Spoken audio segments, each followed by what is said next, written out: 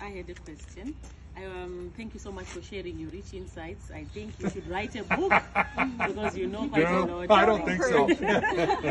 So I'm from uh, Zimbabwe, and we are a seed company in Zimbabwe, the biggest.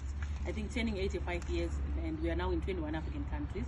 So I really appreciate some of the insights that you're sharing. I wanted to know about the price of corn um, from a production side and from uh, a commercial uh, production side, uh, from the farmers, the end users.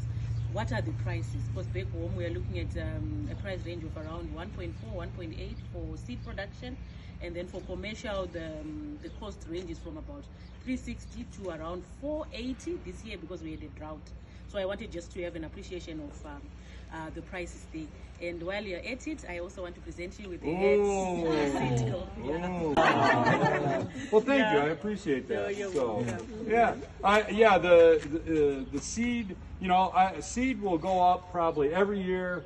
Uh, like with pickle seed, when we were growing a lot of pickles, it'd go up two percent every year, maybe even two and a half percent.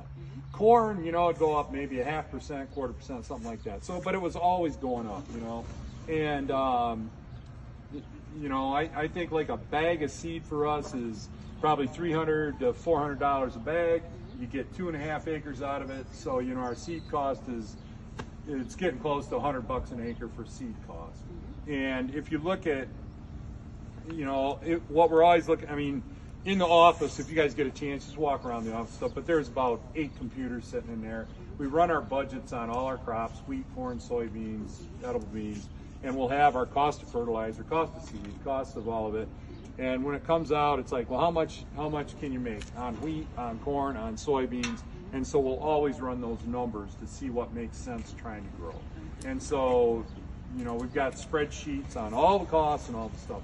You know. And and off the top of my head, I'm not sure. Right now, we're getting very close to break even for what the costs are and what the corn is right now on the futures market to do it.